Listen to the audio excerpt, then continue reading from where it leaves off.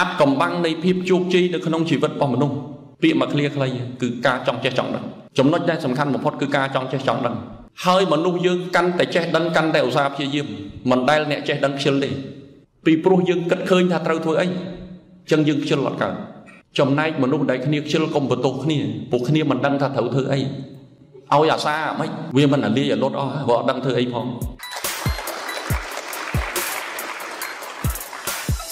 វិន័យទី1គឺពេលវេលាខ្ញុំប្រកាន់វិន័យនេះជាគោលការណ៍តែម្ដងជាគោលការណ៍ផ្ទាល់ខ្លួនគេហៅ personal principle ជាគោលការណ៍ផ្ទាល់ខ្លួនតែម្ដងសូមបីតែក្រុមគ្រួសារខ្ញុំប្រពន្ធខ្ញុំក៏ខ្ញុំអត់លើកលែងដែរបើខ្ញុំណាត់គេគាត់យឺតគាត់ចាំទៅតាមក្រោយហើយបើគេសួរថាហេតុអីបានអត់មកជាមួយគ្នាថាអ្នកលឿនមកមុនអ្នកយឺតមកក្រោយពីព្រោះបងប្អូនត្រូវដឹងពីអត្តកម្បាំងនៃការគ្រប់គ្រងពេលវេលា មនុស្សយើងមិនអាចឲ្យអ្នកដតីទុកចិត្តបានទេព្រោះវាគ្មិនខាងដើមនិយាយអំពីភាពស្មោះត្រង់និងសុចរិតភាពការពិតវាជាអ្វីគ្មានអ្វីក្រៅពីការចាប់ផ្ដើមលើការធ្វើទៀងពេលទៀងវេលាទេគឺជាការចាប់ផ្ដើមបង្ហាញពីភាពស្មោះត្រង់និងសុចរិតភាពមុនគេបំផុតពីព្រោះបើសិនជាយើងមិនទៀងទាត់លើពេលវេលា មានន័យថាមកពីរបៀបគិតរបស់យើងវាមិនទៀងទាត់របៀបធ្វើរបស់យើងវាមិនទៀងទាត់បើយើងគិតវាទៀងទាត់ត្រឹមត្រូវយើងមិនអាចខកពេលបានទេ បើយើងធ្វើវាទៀងទាត់វាត្រឹមត្រូវវាមិនអាចយឺតពេលបានទេអញ្ចឹងយើងត្រូវធ្វើឲ្យប្រកបហើយដោយបងបុនគាត់ចេះតែខ្លាចខ្ញុំយឺតខ្ញុំយឺតហើយខ្ញុំប្រាប់គាត់ថាមិនអីទេបងបុនខ្ញុំមិនយឺតទេអ្វីត្បិតតែខ្ញុំនិយាយរហូតដល់ម៉ោង5ម៉ោង6តែខ្ញុំនៅតែខំព្យាយាមមកមុនគេហើយនៅពេលដែលខ្ញុំណាត់ពេលវេលាជាមួយអ្នកណាម្នាក់មិនមែនខ្ញុំគោរពពេលវេលាទេគឺខ្ញុំចាប់ផ្ដើមគិតថាខ្ញុំត្រូវគិតពីពេលវេលារបស់មនុស្សមិនមែនពេលវេលារបស់ខ្ញុំទេ ការដែលយើងឲ្យគេរងចាំយើងវាស្មើនឹងយើងបំផ្លាញអ្នកដទៃស្មើនឹងយើងមើលងាយសន្តានចិត្តរបស់គេ ស្មើនឹងយើងប្រមាថគេតើមនុស្សណាមកຕົកចិត្តមនុស្សពេលវេលាក៏ក្លែកខ្លាក់បានតើកូនចៅណាមកមកដើរតាមមីដែលដែលមិនគោរពពេលវេលានោះយើងគិតមើលតើកូនចៅណាមកគោរពយើងកើតអញ្ចឹងការធ្វើជាគំរូនៃពេលវេលានេះគឺរឿងមួយដែល ល្អអស្ចារ្យណាស់ហើយផ្ដើមធ្វើឲ្យអានឹងឲ្យបានអារឿងអ្វីផ្សេងទៀតអ្នកណាថាស្មោះត្រង់ស្អីសុចរិតភាពអីរៀនសូត្របដើបដើធ្វើបដើបដើសំខាន់បំផុតទៀងទាត់សិនអត់មានការទៀងទាត់អត់មានការទៀងត្រង់ទេជឿខ្ញុំទៅអ្នកណាក៏ដោយឲ្យតែមនុស្សនឹងមិនទៀងពេលវេលាខ្ញុំនិយាយថាមនុស្សនឹងអត់ត្រង់ធ្វើការវាយតម្លៃទុកជាមុនហ្មងអានឹងគេហៅថា prejudgment ណាវាយតម្លៃទុកជាមុនឲ្យតែណាត់ពេលបើក្លែកខ្លះក្លែកខ្លះអត់រស់ស៊ីជាមួយទេពីព្រោះមនុស្សនឹងគង់តែក្បត់យើងទេ មិនទាន់បានរកជាមួយគ្នាផងបំផ្លាញយើងប៉ុណ្ណឹងទៅហើយទៅទៅមកតែរកមួយគ្នានឹងបំផ្លាញឯងប៉ុណ្ណាអញ្ចឹងចំពោះកូនចៅក៏យើងត្រូវគិតដូចគ្នាវិន័យទី2គឺការងារយើងចំណាំមើលច្រើនចេះកំហុសមួយនៅស្រុកយើង ពេលណាឆ្លាតខ្ជិលបែរជាទុកឲ្យជាអ្នកល្ងងនឹងខំប្រឹងធ្វើអឺហែងល្ងងហើយធ្វើការច្រើនអញ្ចឹងត្រូវហើយអញឆ្លាតគេធ្វើតែបន្តិចបន្តួចទេ នេះគឺការជាការខ្ជះខ្ជាយមួយយ៉ាងធំមែនទែនយើងគិតត្រឡប់ប្រច្រាស់មកវិញថាបើយើងអ្នកឆ្លាតអ្នកប្រកែហើយខំធ្វើការនេះតើវាចំណេញប៉ុណ្ណាវាមានប្រយោជន៍ប៉ុណ្ណា វាជួយមនុស្សបានប៉ុណ្ណា ហើយកូនចៅរបស់យើងដូចគ្នាបើឃើញមេខំយើងធ្វើលេងលេងឯងដោយលោកគ្រូរដ្ឋាមកឃ្លាហ្នឹងកុំធ្វើលេងលេងណាចង់បានផលមែនតែនយករូបនឹងទៅឲ្យខ្ញុំមកផ្ទាំងទៀត ឥឡូវខ្ញុំដាក់នៅបន្ទប់ប្រជុំកុំធ្វើលេងលេងចង់បានផលមែនតែនអញ្ចឹងខ្ញុំអាចនិយាយបានថាខ្ញុំគឺជាមេម្នាក់ចំពោះកិច្ចការងារគឺអត់ធ្វើលេងលេងទេខ្ញុំអត់ធ្វើលេងលេងហ្មងយើងឃើញពេលចូលរួមនៅក្នុងកម្មវិធីខ្ញុំរៀងអាឡេអាឡក់ខ្ញុំរៀងសបាយខ្ញុំរៀងអីប៉ុន្តែពេលធ្វើការជាមួយខ្ញុំមិនស្អាតគឺមិនយកមិនត្រឹមត្រូវគឺមិនយកមិនឈ្នះគេគឺមិនយកមិនមែនខ្ញុំចង់ឈ្នះទេគឺខ្ញុំមិនអាចចាញ់បានហើយខ្ញុំគឺមានស្មារតីប្រកួតប្រជែងជានិច្ច ការពិតយើងគឺសិតតែប្រមូលផ្ដុំដោយមនុស្សធម្មតាតែរួមគ្នាធ្វើការជាក្រុមដើម្បីសម្រេចកិច្ចការមិនធម្មតាហើយបើនិយាយពីយុទ្ធសាស្ត្រខ្ញុំគិតថានៅ campaign យើងអត់ប្រើយុទ្ធសាស្ត្រសង្សាយទេយើងប្រើយុទ្ធសាស្ត្រខ្យងហើយខ្ញុំរៀនពីបទសិនស៊ីសមុទ្រមកដែលមានពាក្យមួយឃ្លានោះថាទុនសាយប្រាជ្ញល្បីគង់រត់ចាញ់ខ្យងរឿងអូននិងបងចងជារឿងព្រេងអញ្ចឹងការពិតរាល់ការប្រកួតប្រជែងនិងរបៀបធ្វើការរបស់យើងយើងមិនដែលរត់តាម ដែលមនុស្សឆ្លាតគិតទេយើងរត់តាមផ្លូវរបស់យើងតែអាចឈ្នះមនុស្សឆ្លាតបានយើងទទួលស្គាល់ថាយើងមិនមែនជាមនុស្សឆ្លាតទេយើងគ្រាន់តែធ្វើការក្រត់បើជាមនុស្សឆ្លាតតែប៉ុណ្្នឹងឯងវិន័យទី3វិន័យចំពោះមនុស្សព្រះអង្គវាគ្មិនកិត្តិយសនៅទីនេះហើយបងប្អូនគេទាំងអ្នករោស៊ីទាំងអ្នកធ្វើការទាំងអ្នក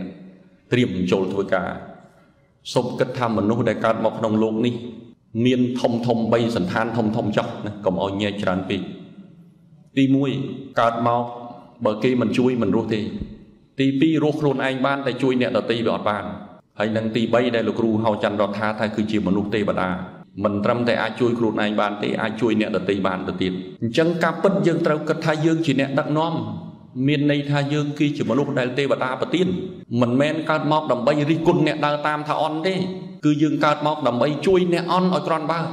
ហើយយើងក៏មិនមែនកើតមកដើម្បីទុកមនុស្សធម្មតាឲ្យនៅធម្មតាដែរគឺយើងកើតមកមានភារកិច្ចមួយ ដើម្បីជួយមនុស្សធម្មតាឲ្យទៅជាមនុស្សដែលខ្លាំងជាងមុនតែមិនធម្មតាបើកូនចៅរបស់អ្នកនៅឆ្ងាយពីអ្នកពេកអ្នកត្រូវទៅដឹកគេមកនឹងហើយហៅដឹកនាំមិនបានអ្នកបណ្ដោយឲ្យគេនៅពីអ្នកឆ្ងាយម្លេះហើយបើសិនជាអ្នកជ្រុលទៅឌីលពួកគេថាសិតតែជាមនុស្សល្ងងចុះអាអ្នកដឹកនាំគេនឹងទៅវាល្ងងឬក៏វាឆ្លាត ហើយបើអ្នកឯងជាមនុស្សឆ្លាតមិនបានបណ្ដោយឲ្យមនុស្សល្ងងច្រើនម្លេះអញ្ចឹងយើងត្រូវគិតថាកាលណាតែយើងដឹកនាំមនុស្សខ្សត់ខ្សោយធរ2ខ្ញុំមិនបាច់ថាប្រើធរ4ជាព្រមវិហារធរទេបងអឺដេចលោកបណ្ឌិតប្រើតែធរ2ទៅមេត្តាករណាទៅមិនបាច់ថាមុទិតាឧបេក្ខាទេគេលោវែងតិចបាក់យល់ប្រើតែមេត្តាករណាទៅមនុស្សណាក៏កើតមកក៏គួរឲ្យស្រឡាញ់ដែរមនុស្សខ្សត់ខ្សោយយ៉ាងណាក៏គួរឲ្យសុគ្រោះដែរជួយគេទៅហើយអាចកំបាំង មួយទៀតដែលផ្សំមកយើងជោគជ័យគឺយើងជួយមនុស្សឲ្យបានប្រសើរជាងមុននឹងឯងគ្មាននរណាម្នាក់អាចសម្រេចជោគជ័យដោយមិនអាចជួយមនុស្សឲ្យក្រាន់បើជាងមុនបានទេតើមានប្រទេសណាដែលអាចធ្វើឲ្យប្រទេសខ្លាយជាអ្នកមានដោយទុកឲ្យប្រជាជនល្ងងទាំងអស់ទេតើមានស្ថាប័នណាមួយខ្លាយទៅជាស្ថាប័នយក្សដោយសភៅលោកគ្រូរដ្ឋាភិបជាអ្នកមានកម្ពូលដោយស្ថាប័ននឹងបុគ្គលិកគឺអ្នកដឹកនាំទុកឲ្យបុគ្គលិកនឹងល្ងងទាំងអស់ទេអញ្ចឹងបាននៅ campaign យើងប្រាប់ថាពេលដែលអ្នកនៅជាមួយខ្ញុំ អ្នកមកពីណាមិនសំខាន់ទេតែអ្នកនៅទីនេះអ្នកត្រូវតែក្រាន់បើជាងប្រភពដែលអ្នកបានមកហើយបើសិនជាខ្ញុំមិនបានធ្វើឲ្យអ្នកក្រាន់បើជាងមុននឹងឥឡូវនេះទេមិនមែនជាកំហុសរបស់អ្នកទាំងអស់គ្នាទេគឺជាកំហុសរបស់ខ្ញុំហើយអ្នកដែលត្រូវផ្ដំទាទោសអ្នកដែលត្រូវពិន័យគួរតែពិន័យហើយនឹងផ្ដំទាទោសខ្ញុំចោះទី3តកតោមួយសមត្ថភាព សមត្ថភាព យើងចង់ឲ្យកូនចៅចេះមិនចឹងទេកន្លែងណាដែលអាចមានកូនចៅចេះដឹងតែមេនៅតែល្ងងបងប្អូនសួរមើលមានទេมันអាចទេមានតែបុគ្គលិកនឹងចាក់ចេញដោយសារតែមើលទៅអស់ត្រឹមហ្នឹងហើយអញ្ចឹងបានជាខ្ញុំមានពាក្យរបស់ខ្ញុំហើយខ្ញុំបង្រៀនកូនចៅខ្ញុំថាជាមួយសោមសម្បត្តិឲ្យតែនៅរស់គឺមិនខ្សោយជាដាច់ខាតខ្ញុំមិនខ្វល់តែខ្ញុំរៀនបានប៉ុណ្ណាទេពីព្រោះកន្លែងណាក៏អាចរៀនបានដែរវាមានទៅសំខាន់ថាយើងរៀនបានប៉ុណ្ណាទេខ្ញុំគឺជាមនុស្សម្នាក់ ដែលសមត្ថភាពចេញពីភាពជាក់ស្ដែងចឹងខ្ញុំបង្កើតបញ្ញាឃើញហើយខ្ញុំតែងតែប្រាប់កូនចៅខ្ញុំថាមនុស្សនៅក្នុងលោកនេះវាមិនអាស្រ័យទៅលើសក់រួញឬស្លូតទេមិនអាស្រ័យទៅលើសឬខ្មៅទេមិនអាស្រ័យលើទៀបឬខ្ពស់ទេ អាស្រ័យទៅលើយើងគិតថាអានឹងគេធ្វើកើតយើងធ្វើមិនកើតគឺយើងធ្វើមិនកើតហើយតែបើសិនជាយើងគិតថាបើគេធ្វើកើតយើងធ្វើកើតយើងរកវិធីធ្វើទល់តែកើត ហើយនៅ campaign ខ្ញុំតែងតែរំកិលសមត្ថភាពរបស់ខ្ញុំមួយកម្រិតហើយទៅមួយកម្រិតទៀតយើងអាចត្រឡប់មកកាន់ភាពជាអ្នកដឹកនាំរបស់យើងបន្តិចថាយើងត្រូវគិតថាអ្វីអ្វីគ្រប់យ៉ាងវាឡើងឬចុះដោយសារតែអ្នកដឹកនាំហើយនឹងពាក្យលោកគ្រូរដ្ឋាមកថាមួយទៀតថាមនុស្សគ្រប់គ្នាសុទ្ធតែអាចคลายទៅជាអ្នកដឹកនាំអញ្ចឹងជីវភាពរបស់យើងវាឡើងឬចុះក៏ដោយសារតែយើងក្រុមហ៊ុនរបស់យើងវាឡើងឬចុះដោយសារតែយើងអញ្ចឹងបើយើងដឹងថាសមត្ថភាពរបស់យើងធ្លាក់ចុះក្រុមហ៊ុនយើងនឹងធ្លាក់ចុះ ហេតុអ្វីយើងអាចបណ្តែតបណ្ដោយឲ្យសមត្ថភាពយើងធ្លាក់ចុះបានយើងមិនអាចឃើញបុគ្គលិកខ្ញុំទៅវៀតណាមថ្ងៃមុនឃើញខ្ញុំចេះចាប់ដើមនិយាយវៀតណាមម៉ាត់ម៉ាត់បន្តិចទៀតអ្នកទាំងអស់គ្នាទៅជាមួយទៅចិនជាមួយខ្ញុំអ្នកនឹងឃើញទាំងអស់គ្នាថាខ្ញុំចេះចិនមួយម៉ាត់មួយម៉ាត់អង់គ្លេសរូថៃរូខ្មែររ៉ាវបាទហើយប្រឹងប្រែងរៀនសូត្រអត់ឈប់ពីព្រោះការពិតក្មួយក្មួយ ជាពិសេសអាប់កំបាំងនៃភាពជោគជ័យនៅក្នុងជីវិតរបស់មនុស្សពាក្យមកឃ្លាខ្លីគឺការចង់ចេះចង់ដឹងចំណុចដែលសំខាន់បំផុតគឺការចង់ចេះចង់ដឹង ហើយមនុស្សយើងកាន់តែចេះដឹងកាន់តែឧស្សាហ៍ព្យាយាមមិនដែលអ្នកចេះដឹងខ្ជិលទេពីព្រោះយើងគិតឃើញថាត្រូវធ្វើអីចឹងយើងខ្ជិលអត់កើតចំណែកមនុស្សដែលគ្នាខ្ជិលកុំបន្ទោសគ្នាពួកគ្នាមិនដឹងថាត្រូវធ្វើអីឲ្យអាសាមិនវាមិនអាលីអាលុតអស់ព្រោះអត់ដឹងធ្វើអីផង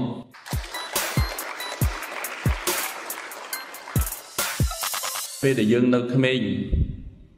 យើងអត់គិតពីសុវត្ថិភាពទេ អាងតែខ្លួនមានកម្លាំងកាយមមមួនអាងតែសុខភាពខ្លួនល្អយកទៅធ្វើជាឧបករណ៍លេងសើចពេលខ្លះយើងគ្រោះថ្នាក់បាត់បង់ជីវិតពេលខ្លះយើងគ្រោះថ្នាក់ពិការហើយខ្ញុំរឿងសុខភាពនិងសុវត្ថិភាពនេះរហូតដល់ខ្ញុំបង្កើតពាក្យស្លោកប្រចាំគ្រួសារថាសម្រស់ជាលៀបសុខភាពជាទ្រព្យបញ្ញាជាតបសិលជាអាវុធខ្ញុំមិនដែលបដោតពីភាពមានបានទេខ្ញុំបដោតទៅលើភាពស្អាតខ្ញុំបដោតទៅលើអនាម័យខ្ញុំបដោតទៅលើម៉េចឲ្យមានសុខភាពល្អ រក្សារាងរូវម៉េចឲ្យបានស្អាត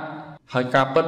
អាសតិបញ្ញាស្មារតីទាំងអស់ហ្នឹងកន្លែងណាស្អាតពួកអាស្អាតស្អាតហ្នឹងវាទៅនៅជាមួយកន្លែងណាអាក្រក់អាក្រក់ពួកអាក្រក់ហ្នឹងវាចាប់ផ្ដើមចូលមកអាស្អាតស្អាតហ្នឹងគឺវាចាប់ផ្ដើមចេញដំណើរទៅម្ដងមួយម្ដងមួយចឹងត្រូវរក្សាសុវត្ថិភាពរបស់ខ្លួនឲ្យបានមិនត្រូវធ្វើប្រហែសទេ ហើយសម្រាប់ភាពជាគំរូនៅក្នុងស្ថាប័នរបស់ខ្ញុំខ្ញុំបដោតលើសុវត្ថិភាពខ្លាំងណាស់ខ្ញុំអត់ចង់បានប្រាក់ចំណេញទេ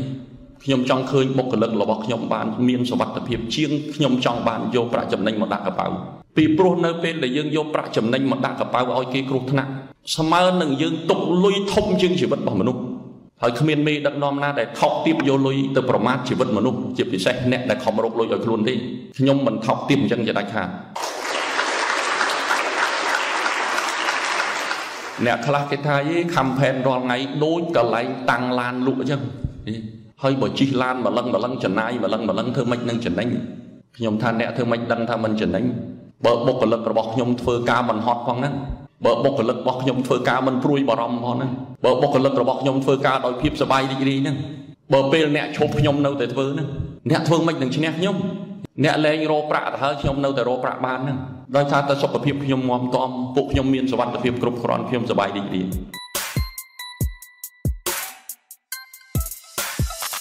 បើសិនជាមិនមើលថែទាំរូបកាយរបស់ខ្លួនឯងបានល្អកម្លាំងពលំបានល្អហើយកុំសង្ឃឹមតែទៅធ្វើអ្វីផ្សេងទៀតឬក៏យើងថាសុខភាពទី1អ្វីអ្វីទៀតគ្រាន់តែជាលេខ0ថែមពីក្រោយលេខ1នៅពេលដែលដកលេខ1ចេញ0គ្មានន័យទាំងអស់អញ្ចឹងសម្រាប់បងប្អូនជាពិសេសដែលបានអញ្ជើញចូលរួមថ្ងៃនេះបើបងប្អូនចង់ធ្វើដំណើរទៅកាន់ភាពជាអ្នកដឹកនាំឬក៏ទៅផ្លូវអ្នកដឹកនាំរក្សាសុខភាព ថែទាំសុខភាពឲ្យបានល្អបំផុតបាត់បង់អានឹងហើយបងឯងចប់ហើយអត់មានអីទៀតទេហើយយើងមើលទៅអ្នកដឹកនាំដែលពូកែប្រកែអាយុវែងណាស់ប្រធានាធិបតីអាមេរិកដូណាល់ត្រាំរាល់ថ្ងៃនេះឥឡូវនេះកំពុងតែស្ថិតនៅក្នុងអាយុ73ឆ្នាំហើយត្រូវឈោបោះឆ្នោតតំណត្តិទី2ទៀតនៅពេលដែលឈោអាណត្តិទី2ក្នុងអាយុ75ឆ្នាំចឹងបើថែម4ឆ្នាំទៀតគឺមានន័យថាកាន់តំណាចដល់អាយុ79ឆ្នាំតែនៅតែក្មេង ពួកថ្មីថ្មីនេះគេរកឃើញថាអ្នកដែលមានសុខភាពល្អដូចនៅជប៉ុននេះគឺមានន័យថាអាយុ72ឆ្នាំគេរាប់ថាគឺជាមនុស្សដែលនៅមានកម្លាំងពលំពេញលេញអញ្ចឹងយើងនៅកម្ពុជាយើងគឺយើងមានបញ្ហានឹងមួយបញ្ហាសុខភាពគឺជាបញ្ហាដ៏ធំទេហើយយើងទាំងអស់គ្នាដែលចូលរួមនៅក្នុងនេះផ្ដើមចេញពីយើងដោយលោកគ្រូអឿនថាអ្វីអ្វីគ្រប់យ៉ាងដោយសារតែយើងទេកុំឲ្យបរាជ័យលើសុខភាពនេះទី1 ដើម្បីសម្រេចសុបិនដល់ធ្វើត្រូវធ្វើរឿងពីរទី1មានសុបិនមិនគ្រប់គ្រាន់ទេទល់តែមានមហិច្ឆតាទេសុបិនអ្នកអាចសុបិនម្ដងតែមហិច្ឆតាអ្នកមិនអាចធ្វើមួយដងទេអ្នកដែលមានមហិច្ឆតាគឺជាមនុស្សដែលធ្វើជារៀងរាល់ថ្ងៃចិញ្ចឹមចិត្តធ្វើតតបានសម្រេចទេឈឺចាប់បណ្ណាក៏ធ្វើតតបានសម្រេចមនុស្សដែលមានមហិច្ឆតាគឺដូចទ្រឹស្ដីរបស់ស៊ឺម៉ាអ៊ីនៅក្នុងរឿងសាមកុកចឹង មនុស្សធ្វើការលំបាករហូតដល់មានអារម្មណ៍ថាអានឹងវាស្រួលម្លេះនឹងបានមនុស្សអាចប្រែคลายសុបិនឲ្យคลายទៅជាការពិតបានរឿងទី2ដែលយើងទាំងអស់គ្នាត្រូវគិតថាធ្វើម៉េចដើម្បីឲ្យសុបិនទៅคลายជាការពិតគឺការធ្វើការជាក្រុមចឹងគេនិយាយអំពីពាក្យ dream និងពាក្យ team យើងយកដៃមកយើងក្តាប់ឲ្យណែនហើយគិតថាខាងស្ដាំនេះគឺជាសុបិនរបស់យើង ហើយខាងឆ្វេងនេះគឺជាក្រុមរបស់យើងបើអ្នកមានតែសុបិនអ្នកអត់មានក្រុមសម្រាប់ទៅធ្វើវាអ្នកនឹងមានដៃតែមួយខាងទេផ្ទុយទៅវិញបើអ្នកមានមនុស្សតែអ្នកមិនដឹងថាធ្វើអីក៏អ្នកដូចតែមានដៃតែមួយខាងចឹងដើម្បីឲ្យមានដៃទាំងពីរសម្រាប់សេចក្តីសុបិនរបស់អ្នកបានគឺយើងត្រូវមានទាំងសុបិនផងត្រូវមានទាំងក្រុមការងារផងចឹងអមមាតដូចបងអូនស្រីបងអូនគិតមើលឥឡូវ campaign គ្រាន់តែគណៈគ្រប់គ្រងថ្នាក់លើនិងថ្នាក់កណ្ដាល បន្ទប់ប្រជុំធំខ្ញុំរាល់ថ្ងៃប្រជុំជាងៀតបាត់ទៅហើយបើនិយាយពីគណៈគ្រប់គ្រងខ្ញុំខ្ញុំគិតថាបើយើងទៅបំបែកទៅក្រុមហ៊ុនតូចតូចប្រហែលជាអាចទៅគ្រប់គ្រងក្រុមហ៊ុនតូចតូចបាន20អញ្ចឹងយើងមានក្រុមធំណាស់ហើយយើងត្រូវគិតសុបិនឬគំនិតតែមួយទេតែរឿងខ្លះគំនិតមួយធ្វើមួយជីវិតអត់អស់ទេបាទធ្វើមួយជីវិតអត់អស់ទេអញ្ចឹងគឺយើងត្រូវគិតថាយើងត្រូវមានក្រុមការងារហើយខិតខំប្រឹងកសាងក្រុមនឹងឲ្យមែនតើខំកសាងក្រុមនឹងឲ្យមែនតើ អ្នកខ្លះគេថាមនុស្សយើងមិនត្រូវសម្លឹងតែផលប្រយោជន៍ពេកទេហើយខ្ញុំសួរត្រឡប់ទៅវិញទៅចុះមនុស្សណាដែលសម្លឹងតែរបស់អត់ប្រយោជន៍លោកហើយទៅដឹកនាំគេអាម៉េចបើសិនជាយើងមើលតែរបស់អត់ប្រយោជន៍នោះវាទល់តែមើលឃើញប្រយោជន៍គ្រប់កន្លែងបានវាคล้ายទៅជាប្រយោជន៍កើតគេអញ្ចឹងជាបណ្ដាំចុងក្រោយរបស់ខ្ញុំថាបងប្អូនក្នុងជីវិតរបស់យើងត្រូវធ្វើដំណើរឲ្យវែងឆ្ងាយហើយ ជួនកាលយើងអាចទៅជោគជ័យដល់អាយុ60 70ឆ្នាំនោះគេពីព្រោះជោគជ័យខ្លះការពិតគឺយកអាយុជីវិតមកដាក់ទេពិតប្រកបមើលមហាអាត្មគុណធីក៏ជោគជ័យដោយសារតែអាយុជីវិតដែរបើសិនជាមិនអាយុជីវិតលោកលោកតាមហាអាត្មគុណធីមិនបានគេចាត់ទុកថា the great leader of all time ទេមិនបានគេចាត់ទុកថាមេដឹកនាំគេហៅថាកម្ពុជាមេដឹកនាំលេខ1ក្នុងពិភពលោកទេមានន័យថា មួយជីវិតគឺលះបង់ដើម្បីឥណ្ឌាដើម្បីមនុស្សជាតិយើងមើលលោកតា Nelson Mandela ដូចគ្នាជាប់គុក27ឆ្នាំបងប្អូននៅកន្លែងនេះអ្នកខ្លះមិនទាន់បាន27ផងនេះអញ្ចឹងអាយុមិនទាន់បានស្មើ Nelson Mandela ជាប់គុកផងក៏មិនទាន់អស់សង្ឃឹម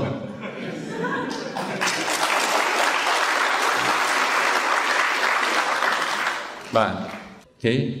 ហើយបងអូនដែលថាសួរថាចុះបើមានអ្នកណាគេអត់ហ៊ានបថុយសោះទទួលបានជោគជ័យទេខ្ញុំថាមានបាទពីព្រោះគាត់អត់ចាំបាច់បថុយអីទេព្រោះអាហ្នឹងគឺថាគេអកសល់ពីឪពុកម្ដាយទៅហើយអាយើងមិនដឹងមើលទៅគាត់ជោគជ័យណាព្រោះមានស្រាប់អស់ហើយហើយវាជោគជ័យរបស់គេមែនវាជោគជ័យគេមែនព្រោះពួកគេថាប៉ុណ្ណឹងអីប៉ុណ្ណឹងចោះកុំឲ្យប៉ុណ្ណឹងនឹងវាសនាគេពួកយើងប៉ុណ្ណឹងបច្ចេកអត់បានយើងប៉ុណ្ណឹងបច្ចេកអត់បានអញ្ចឹងបងអូនត្រូវគិតថាខោតខិតខំប្រឹងប្រែងធ្វើយ៉ាងម៉េចក៏ដោយ ឲ្យធ្វើបានអាយុវែងហើយសំបីតែប្រពុតលោកប្រទៀនពោក៏ចឹងដែរអាយុវណ្ណៈសុខៈពលៈចឹងមានន័យថាឲ្យយើងគិតជាងគេមុនគេបំផុតគឺអាយុហ្នឹងហើយគ្មានអ្វីតែមានតម្លៃជាងហ្នឹងទេបន្ទាប់ពីហ្នឹងយើងប្រមូលមកបដើបដើប្រើច្បាប់សន្សែសន្សំមកបដើបដើបដើបដើសួរថាធ្វើម៉េចបានអាចឲ្យស្ថាប័ននឹងដែលរីកចម្រើនម្លេះបើរៀនទៅថ្នាក់ទី6សោះ ខ្ញុំចង់ឲ្យបងប្អូនយល់ពីពាក្យថាចំណេះវិជ្ជាអញ្ចឹងបងប្អូនដកពាក្យដឹងក្រោយកុំដាក់ចំណេះដឹងបងប្អូនដាក់ចំណេះវិជ្ជាវិញបាទពាក្យថាវិជ្ជានៅក្នុងភាសាអង់គ្លេសថា vision អញ្ចឹងខ្ញុំរៀនបានថ្នាក់ទី6ប៉ុន្តែប្រហែលជាចាក់ខុសវិស័យខ្ញុំបណ្ឌិតខ្លះប្រហែលជាមើលមិនឃើញផងបងអានេះយើងនិយាយធម្មតាមនុស្សយើងមកលក្ខណៈអំនុបើអត់អំនួតទោះបីជាយើងមានភាពខ្លាំងប៉ុណ្ណាក៏នៅតែអត់អញ្ចឹងយើងត្រូវទៅហ៊ានអួតបើយើងខ្លាំងមែនអញ្ចឹង គ្រឿងផ្សំធំធំរបស់ដែលអ្នកដឹកនាំនឹងក៏ពិតវាមាន7ហើយយើងអត់មានពេលឆ្លើយទេខ្ញុំខ្ញុំក៏សង្ខេបថាទី1គឺចក្ខុវិស័យហ្នឹងហើយដែលយើងហៅថាទស្សនៈវិជ្ជាឬក៏ចំណេះវិជ្ជាណាអញ្ចឹងមានចំណេះមិនគ្រប់គ្រាន់ទេទល់តែបូកវិជ្ជាហើយបន្ទាប់មកគឺការពិតបងអូនមើលមកខ្ញុំខ្ញុំគឺជាមនុស្សក្លាហានហើយទី3ខ្ញុំមានសុចរិតភាពទី4ខ្ញុំដាក់ខ្លួនណា រឿងល្មមល្មមមនុស្សធ្វើមិនកើតទេតែខ្ញុំធ្វើកើតកន្លែងល្មមល្មមមនុស្សមិនហ៊ានដេកទេខ្ញុំហ៊ានដេកកន្លែងល្មមល្មមមនុស្សមិនហ៊ានទៅទេខ្ញុំហ៊ានទៅបាយល្មមល្មមមនុស្សមិនហ៊ានស៊ីទេខ្ញុំហ៊ានស៊ីនិយាយស៊ីអញ្ចឹងហ្មងថាហើយបើនិយាយនិយាយជាចំណុចមួយទៀតហៅថាផែនការយុទ្ធសាស្ត្រខ្ញុំខ្ញុំអាចនិយាយថាខ្ញុំគឺជា CEO យុទ្ធសាស្ត្រហើយខ្ញុំថាបើនោះបើមិនទាន់ចេះយុទ្ធសាស្ត្រទេកុំទៅធ្វើ CEO ខូចខាតគេច្រើនណាស់មួយទៀតអំណាចនៃការផ្ដោត យើងធ្វើរឿងអីមួយគឺធ្វើឲ្យជ្រុះធ្លាយធ្វើឲ្យបានសម្រេចហើយនឹងចុងក្រោយគឺការប្រមូលគ្នាជាក្រុមធ្វើមិនឲ្យមនុស្សអាចសហការគ្នាណាចូលលើស្មារតីមនុស្សធម្មតារួមគ្នាដើម្បីធ្វើកិច្ចការមិនធម្មតានៅក្នុងដំណើរជីវិតរបស់យើង ដើម្បីសម្រេចកិច្ចការធំធំបាន គឺយើងអាចចូលលើទ្រឹស្ដីរបស់ខុងជឺធ្វើរឿងធំតាន់វានៅតូចហើយកុំមើលងាយរឿងតូចបើភាសាអង់គ្លេសបងប្អូនគេថា mind little thing ធ្វើរឿងតូចតូចឲ្យល្អដើម្បីឲ្យរឿងធំធំវារត់មករកយើងដោយខ្លួនវាតែមនុស្សយើងចូលចិត្តរងចាំថាចាំអាធំមកដល់ចាំធ្វើទូចទូចទុកមួយឡែកសិនឱកាសការពិតមិនត្រូវរងចាំទេឱកាសគឺយើងគួរតែបង្កើតវាល្អជាងវាមកលឿនជាងដែលយើងរងចាំហើយជួនកាលយើងចាំមួយជីវិតក៏មកដល់ដែរហើយមួយទៀតបងអូនត្រូវឈរលើស្មារតីថាធ្វើរឿងលំបាកតន់វានៅងាយយើងច្រើនតែទុករឿងដល់លំបាកពេក ដល់ពេលវាកើតឡើងវាហួសពីសមត្ថភាពដែលយើងអាចធ្វើវាបានអញ្ចឹងយើងគួរតែធ្វើតន់វានឹងងាយ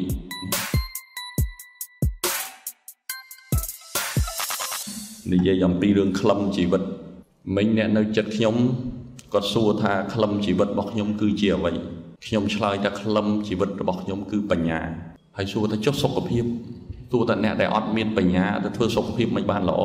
ឧបមាថាតើយុទ្ធសាស្ត្របើមិនជាអត់បញ្ញាគិតមិនចេញ ហើយបើឧបមាថាកម្លាំងដូចគ្នាបើសិនយើងអត់បញ្ញាវាយមិនឈ្នះគេយើងមើលអ្នកបដាល់ឈ្នះនឹងបញ្ញាឈ្នះនឹងល្បិចទៅមិនមែនឈ្នះនឹងកម្លាំងប៉ុនគ្នាណាបើសិនជាយើងចង់ថាឲ្យមានខ្លឹមពិតប្រកបត្រូវតែមានបញ្ញាអ្វីអ្វីទាំងអស់វាជាសម្បកខាងក្រៅយើងចង់ទៅរើសខោអាវឆ្លៀកពាក់ឲ្យបានសមរម្យក៏ទៀមទាបញ្ញាបើមិនចឹងទេយកមករុំពាត់នឹងមើលទៅឡើងខ្លាក់មើលទៅឡើងបលុកមើលទៅមិនជាបើ បើសិនជាយើងចង់បានសុភមង្គលនៅក្នុងក្រុមគ្រួសារក៏ត្រូវប្រើបញ្ញាដែរយើងឧទាហរណ៍ថាយើងនិយាយរឿងស្មោះត្រង់មួយម៉ាត់ចាស់ណាគេហៅស្មោះត្រង់សំទុកខ្ញុំមិនបង្រៀនឲ្យខូចទេព្រោះនៅនេះក៏មានអ្នកធរអាហើយមានទាំងប្រសងទៀតប៉ុន្តែទ្រឹស្ដីឆាវឆាវថាមហាអាក្រក់ដូចល្អស្មោះត្រង់ដូចវាយវាយនៅក្នុងលោកនេះមើលតែសម្បកក្រៅមិនដឹងទេមូលហេតុអីក្លំរបស់មនុស្សវានៅខាងក្នុងមើលទៅពីខាងក្រៅអត់ឃើញទេពេលខ្លះមនុស្សស្មោះត្រង់ធ្វើបាបគេជាងមនុស្សវិវេទៅទៀត ដោយសារវាត្រង់ពេកហើយលោកបណ្ឌិតទូចកឹមស្រៀងទៅផ្ញើអត្តបទមកឲ្យខ្ញុំព្រឹកមិញខ្ញុំមើលលោកថាដើម្បីឲ្យមានលក្ខណៈគេសភាវៈជាអ្នកដឹកនាំមាន5ទី1មានបញ្ញាលោកបណ្ឌិតមិនចឹងខ្ញុំបានផ្ញើជូនគ្នាខ្ញុំបច្ច័យចាយប្រុងព្រៀបដែរពោឃើញល្អខ្ញុំគិតថាចំណុចនេះល្អមែនតើហើយចៃដន្យបានខ្ញុំមកសង្ខេបទៅទៀតគឺត្រូវមានបញ្ញាឆ្លៀសវៃបន្ទាប់មកលោកថាស្មោះត្រង់គាត់ថាមនុស្សយើងបើមានតែបញ្ញាមួយមុខ វាអាចបាត់ភាពស្មោះត្រង់បើមិនជាយើងដឹកនាំអាស្រ័យទៅលើបញ្ញាមួយមុខអាចបាត់ភាពស្មោះត្រង់ឲ្យធ្វើឲ្យកើតមានការក្បត់ការលួចបន្លំមិនចឹងគូតែផ្ទុយទៅវិញបើមិនជាមានតែភាពស្មោះត្រង់ស្មោះត្រង់ស្មោះត្រង់យើងល្ងងអញ្ចឹងបានជាយើងឃើញនៅក្នុងបរិបទជាក់ស្ដែងហ្មងយើងកុំទៅដើររកមនុស្សម្នាក់ដែលមានទាំងពីររកឆ្លាតផងស្មោះត្រង់ផងមិនងាយរកទេហ្នឹងអញ្ចឹងវាទល់តកង់ទល់តាវាធ្វើកង់អាត្រង់ធ្វើកម្មមនុស្សឆ្លាតដែលមិនទៅត្រង់ ទុកធ្វើកង់ទៅបាទមនុស្សត្រង់ដែលត្រង់ភ្លឹងមកធ្វើកម្មទៅហើយយើងត្រូវគិតថារបស់ដែលកើតដែលមាននៅក្នុងលោកនេះមានកលែងទុកដាក់របស់វាមនុស្សដែលមានជីវិតនៅក្នុងលោកនេះគឺមានកលែងសម្រាប់រស់ដូចគ្នាអាក្រក់ល្អប្រើបានទាំងអស់ហើយការប៉ិនប្រសពរបស់អ្នកដឹកនាំគឺប្រើបានទាំងមនុស្សល្អទាំងមនុស្សអាក្រក់ប្រើបានទាំងមនុស្សត្រង់មនុស្សមិនត្រង់ប្រើបានទាំងមនុស្សខ្សោយទាំងមនុស្សខ្លាំងប្រើបានទាំងមនុស្សល្ងងនិងមនុស្សឆ្លាតពីព្រោះយើងមិនអាចមានទាំងអស់ដូចចិត្តយើងទេមានតែយើងធ្វើអ្វីអ្វីដែលមានឲ្យវាដូចចិត្ត មួយទៀតលោកបណ្ឌិតគាត់លើកឡើងថាក្លាហានបើសិនជាមានតែតែក្តីក្លាហានសុទ្ធមានន័យថាប្រហែលជាមើលទៅវាអាចសាហាវណាវាអាចឈានដល់ការកាប់សម្លាប់ព្រោះវាវាក្លាហានសុទ្ធតែយើងឧទាហរណ៍ថាដូចលោកលំហាវចឹងឡើងមកបន្ថែមពីរឿងរឿងវិន័យថាទៅលោកគាត់ថាមិនកុំតែវិន័យទៅពីន័យជួនកាលកាលណាវាពីន័យពីន័យពេកវាទៅជាខូខើឧទាហរណ៍ថាពេលខ្លះវាទៅជាតនកម្ម ហើយការពិតមនុស្សយើងគឺថាឲ្យតែតនកម្មពេកក៏រត់ចោលតែអត់យកទេ